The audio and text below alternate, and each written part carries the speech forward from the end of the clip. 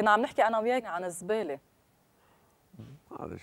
شو موقفك من الوضع السياسي أنا بلبنان بيهمني ضل الزبالة تنضل تطلع ريحتنا. شو الكولونيا وكذا؟ بشعه طلعت بشعة هيدي أحلى طلعت ريحتها. شو- فهمهم هو. طلعوا كل هالشرك اللي بتعمل. كنت طلعوا كل هالشرك اللي بتعملنا كولونيا ما بيفهموا. إيه. زباله أحلى. يلا. هالوضع السياسي بلبنان شو رأيك فيه؟ شو هو؟ الوضع السياسي. الوضع السياسي؟ يعني شو بدي أقول؟ ما ما إلي كأنه مش سامع بالسياسة.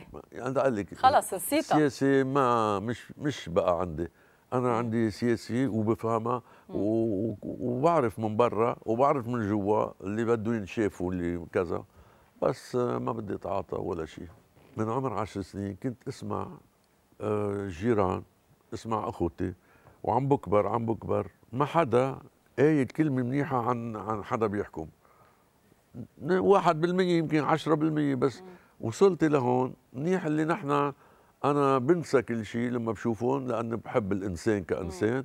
بس عقله وتصرفاته آخر همي بس أنا ما بكون أنا إذا تكون أتباع الله أنا بدي أحب أي إنسان بالأرض. ولا دين بغض النظر إلا ما عن عندي أعماله. إنه عنده جوا. بغض. النظر شو بيشتغل إيه، شو بيعمل بس أنا شو بدي. فيه. خلص قاطع الأمل من السياسة. قاطع الأمل. خلينا ببرامج الهواة أحسن. بعدهم أشرف. برامج الهواة اللي مكتسحة الشاشات اللبنانية هلا والعربية أكيد. آه شو رأيك؟ شو تقييمك للمدربين وللجان التحكيم؟ آه من هيدي هلا آه، هلا هيدي البرامج. هي بر- برامج مثلا بيلهوا الناس لأنه في ناس بيقول لك ليش شو عم يعملوا هلا بيلهوا الناس أحسن ما يخففوا شوي نتفه حشيشه نتفه سكر نتفه طب. لجان التحكيم أنت كأستاذ الياسر رحباني يعني شو بتقيم تقييمك لهم لهم هلأ؟ لك- ليكي مين ما اجى يعني الأشخاص الموجودين مؤهلين مين ما لهالشيء كان من عم. حسك مسالم كثير اليوم ما بدك تحكي على حدا. لا مش هيك. آه، مين ما اجى لأن هي شغلة دقيقة. أنا بحب أقول لك أنا كتبوا لما عملت أول حلقة أول شيء كتبت نيويورك تايمز مم. منا كاتبين نيويورك تايمز هلا إلا إذا دفعوا هلا سمعوا ودفعوا. هاي نيويورك تايمز لا بعرف شيء واحد لما كنت حضرتك بلجان لما كنت سوبر ستار إيه، وستار إيه، أكاديمي إيه. كنت بسوبر ستار بقى هي من زمان. بعتين بيقولوا شو في ماذا يجري في الشرق؟ عاملينها كأنه قصة كأنها في قصة حرب كبيرة. أو شيء ماذا يجري في الشرق؟ قصة آه، ال- الف- الفلسطيني لا. العراق لا.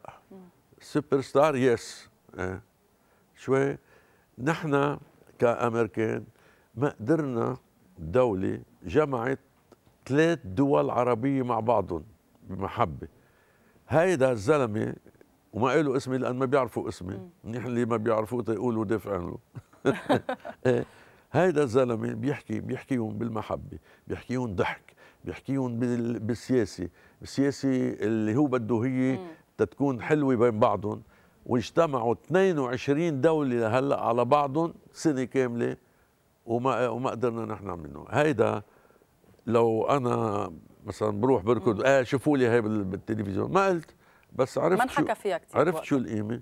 و العالم عم بتقدرك الصحفيين الإعلاميين العالم. طب شو عندك حادثة طريفة؟ لأنه أنت بتضحك العالم كلها يعني بتحط الفرحة بقلوب الكل. حادثة صار طريفة كثير صارت بسوبر ستار ليكي هلأ بدي أقول لك بعد شيء إنه هن ما زال في أصوات عم تجي. معناتها إذا هو منيح قاعد ولا مش منيح مش رح يتغير اللي صوته منيح. فلهالسبب ما فيني أقول فلان وفلان وفلان شو بدي فيهم؟ الله يوفقهم. ويضل يطلع أصوات منيحة وبس بس ما يخ- يخليهم يشتغلوا. ما بيخلوهم يشتغلوا المغنيين. بيسكروا لأنه ما حدا معه مصاري إلا ال- إلا المغنيات إلا. والمغنيين. في طرق آه، كثيرة يعني للربح المادي. هيك رأيك؟ إيه يعني بيعرفوا يشتغلوا هون ويسافروا وبيروحوا. يعني أستاذ إلياس نحن وصلنا لختام حلقتنا. الحمد لله. الحمد لله. تعبناك. لا. نحن بختام كل حلقة بنستضيف آه، ضيف أو ضيفة بخبرونا قصتهم معك. نحن ما لقينا أنسب من ابنك غسان يلا يحكي عنك. ولان شغلاته الكثيره ما قدر يحضر معنا على استوديو اليوم فأخذنا اللي بده يحكيه بتقرير. وحنشوفه سوا. العلاقة اللي صارت آه، بيني وبين الوالد وبين خيي اجمالا نحن بالعائله هي علاقة فريدة من نوعها لأنهم الياس ونينا بيي وأمي هن ناس فريدين من نوعهم. آه، بالجيل تبعهم لما كانوا هن يعني عم عم بيعملوا عائلة عم بيكونوا عائلة آه، يلي من جيلهم ما كانوا مثلهم. يعني هن كانوا يتعاملوا مع أولاد هلأ صرنا نعرف مع أولادهم شيء ويلي من عمرهم كانوا يتعاملوا مع أولادهم شيء ثاني يعني هن على طول الياس رحباني ونينا على طول هن دائمي الصداقة مع الجيل الثاني ولاحظنا هالشيء لما كبرنا وكيف بيعاملنا الوالد وأمي. آه، أنا وخيي بطريقة إنه الصديق يلي عم يجرب يساعدك لأن بيعرف أكثر منك بالحياة مش إنه هو مسيطر عليك وبيك وأمك. صديق بيعرف أكثر منك يعني هيك تاخذها من هالمنطلق آه، صارت صارت الإقبال والقبول تبع اللي بغيرك أنت لما تكون أهوج بحياتك وتكون أنت متسرع بقراراتك آه، وتصير تغضب على أهلك. هاي الفترة بيمرق فيها الإنسان بالأدوليسانس والمراهقة. بتطول أكثر الاهل يقنعوا أولادهم إنه الأهل معهم حق إذا مش مصادقين أولادهم.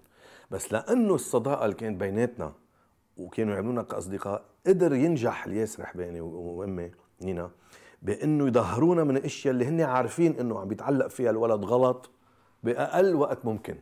مش تعل كثير وتروح عند حكيم نفساني ويصير يسألوه كيف بدنا نعالج ابننا. لأنه الطريقة كانت كصداقة يعني كنا نقتنع أكثر وما نحس حالنا إنه هودي مش فاهميننا جيل ثاني مش فاهمنا. من هالمنطلق الاهل عندهم أهلي عندهم بعتقد هيدي الميزة وهي اللي عم جرب أنا أعملها مع أولادي هلأ.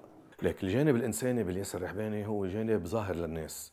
ما مشكلته هو اللي أنا بقول له إياها إنه ما لازم يظهر كل شيء للناس بس ما له ما عم بيظهروا يعني ما في جانب اجمالا ما بيعرفوا الناس عن الياس رحباني يعني الجوانب كلها هو حابب إنه الناس تكتشفها لأن بالنسبة له إنه الأشياء اللي ببثها بالناس عم تفرز آه، إيجابية بالمجتمع وبتفرز إيجابية بين الناس والرواء بين الأديان والطوائف وال والنوايح والجهات السياسية. بالنسبة له عنده رسالة بحس حاله مجبور يكون عم ببين هو شو لحتى يعدي الناس رواء وتقدم وحضارة. مرة بالمدرسة كنت بعدني بالمدرسة آه، عمري 17 قبل 18 قلت له لبابا إنه أعطيني السيارة أنا ما تعرف سيارتك لأنه كنا وقتها روتونو نهار السبت. كانوا يجيبونا نهار السبت قصاص آه، قد ما شاطرين يجيبونا نهار زيادة حتى يقصصونا. بقى السبت ما في أوتوكار. بقى قلت له للبابا قلت له أعطيني السيارة تبعك ما مشكلة أنا بروح فيها بعرف تعرف إني بعرف سوق وكذا. لحتى ما نتعتر ونقعد ننطر تاكسي ومدري شو شتي ما شتي. قال لي طيب رحت أنا لميت الشباب المقصصين كلهم نحن أربع خمسة لميتهم ورحنا على المدرسة. هلا لما خلصنا الظهر الساعة 2 ظهرنا وماشيين حد سوبر ماركت جونيه هونيك من جوا وفي, وفي هونيك مصرف لبنان. وأنا كنت عم أعطيها وفجأة بيظهر واحد من الصف دعست frein بس قد ما شتي ضل شيء أمريكاني من اللوايه كان حديد. وطف جيت رده لمحله يعني صف محله رجع الزلمة وسيارته صارت البيبان اللي هون تعرفوا البيبان اللي هون صاروا بالنص مخصورة مثل الثمانيه صار هو يعني آه يعني الزلمة ما عم بيقدر بقى يهز صار بوابه هول وبوابه هول حشرين وهو بالمعدن فاتت فيه السيارة وضرب بسيارتين وهو راجع ما في تليفونات كذا فت على سوبر ماركت تلفنت البابا كان بالرمال. قلت له بابا بدي أقول لك بس إنه في السيارة في نكس صغير بس إذا فيك حدا يجي ياخذني كان هو خالي قاعدين إذا فيكم بس تجوا يعني نكس صغير. قال لي شو وين قلت له حد سوبر ماركت جونيه. قال لي طيب. برموا هن بحد الهولداي بيتش نزلوا من تحت وهن وعم ياخذوا الأوتوستراد تيجوا صبيا سعود ملك من هونيك واقف السير. من من قبل الأزايلة يعني من قبل الاسباس صار يسأل بيي ليه ما في سير اليوم؟ ما مش مفروض يكون في سير مش سبت الظهر هلا مش هلا وقت يمشوا يمشوا يمشوا يمشوا. وصلوا وصلوا على جوني فرقوا نزلوا لتحت على الساحة واقف السير لتحت. كله كرمال الاكسيدون هنا النكس صغير. وبعدين جابوا واحد ونش قصوا السيارة. وشافني عم بعمل له بابا هيك. هو جاي يعمل لي نكس صغير. اللي نكس صغير. صرنا من ال tunnel واقفين بالعجقه وعمل له أنا ولا يهمك. بعدين جابوا ونش قص السيارة تيقدروا يشيلوا الزلمة لأنه بعده محصور بين الابواب وهي خبرية من الأخبار. هي مضحكة مبكيه يعني مش حق آه بيزعجني فيه آه إنه آه بيعطي وقته لكثير من الناس مع إنه لازم يكون يعطي وقته للناس بس الناس ما عندها حدود أوقات. يعني لازم يكون عنده وقت له بيقولوا هيدا the no do nothing box في شيء بالحياة اسمه the do nothing box يعني بدي عندي وقت لإلي مثل علبة يعني هذا ما أعمل شيء فيه ما عنده اياه آه مش ما يعمل في يشتغل بالوقت مش إنه ما يشتغل يقع بلا شغل بس إنه يكون لإله وقته حر فيه دائما وقته للناس. لازم معه حق هذا الشيء كثير منيح ونحن مثله بس لازم واحد يعرف يعمل حدود لأن أوقات الناس ما عندها حدود قديش تضلها فاتي فيك. فمن هالمنطلق ضلني أنا أنصحه إنه يكون عنده the do nothing box my own space يعني espace personnel شوي لإله ما عنده إياه. uh, بس هو مبسوط هيك. أنا بنبسط إذا هو مبسوط. والشيء اللي بحبه فيه الشيء اللي بحبه فيه هو ما بينعدوا الاشياء اللي بحبها فيه ما بينعدوا. يا ريت فينا نحن نكون عندنا شغلة واحدة منهم وما عندنا إياهم. على المكشوف بقول لك إنه آه أنت إنسان بعدك ما اكتشفت مزبوط مع كل شيء بيعرفوا عنك الناس. أنا بعرف شو بعد فيه. آه على من الناحية الفلسفية ومن الناحية المثالية والماورائيه والفنية والأبوية. بعد في كتير أمور آه ما اكتشفوا. إن شاء الله نحن نكون حدك ونحن موجودين تنساعدك إنه بسرعة توصل كل هالشيء اللي عندك. لأنه هو آه إذا وصل هالشيء لعند الناس رح يكون إضافة إيجابية عند كل إنسان بحاجة لقدوة بهالحياة. يعني الله يخلي لك إياهم. ميرسي خلينا اياك حادث صغير قال لك إيه؟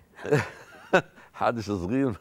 رايح ست سبع سيارات بعضهم ضاربين اليوم انت راضي عن الانجازات اللي قام فيها غسان وجاد؟ اللي مسمح لهم فيه كثير منيح. راضي عنهم؟ غسان بدي أقول لك شيء كولد كان عمل هني بعل من أهم من أهم القصص حتى بأمريكا وقعد تسعة أشهر ورجع راح على تونس اجى 30 ألف شخص. وعمل ثلاث مسرحيات وبعلبك وعمل وحدة كما على الأرض كذلك من فوق بالكازينو مثل مسرحيات الكبار. فأنت راضي عنه اليوم شو بتقول له عن المكشوف؟ عن؟ شو بتقول له لابنك غسان على المكشوف؟ غسان بحب أقول له بعد هو الشيء اللي قال لك إياه أكيد. لأنه هو بتمنى له إنه بشغله يقوى بعد لأنه في إشياء كثير بالحياة للموسيقيين الشباب وكذا وساعة بيقوى شغلهم ساعة لا انه نرتاح كلنا كمان لأنه كلنا بنشتغل ونحن شوي عنا نتفة حزن أو نتفة تعب. بس ماشي ماشي الحال ما بيتوقف وهو قوي كتير وجاد ما جاد ما بيحب يظهر مثل ما قلت لك. بيقعد عنده شغله دائما كل يوم. اولاده إيه نشكر الله يعني أنا بدي أشكره لغسان إنه أعطانا كمان من وقته وبدي أشكر حضرتك. ميرسي لأنه أضفت قيمة كبيرة لبرنامج برنامجنا اليوم. إن شاء الله. ميرسي. أنا أنا بدي أشكر حضورك. أنا زلمة بحب الناس مثل ما قال السيد المسيح. أحب مبغضيكم وباركوا لعينيكم. وأنا بدي أتمنى لك طولة العمر. شكرا. والنجاح الزايد أكثر وأكثر ميرسي يا حبيبتي. مشاهدينا لهون بتكون انتهت حلقتنا على أمل إنه تكونوا استمتعتوا فيها. ونشوفكم الأسبوع اللي جاي بحلقة جديدة إن شاء الله.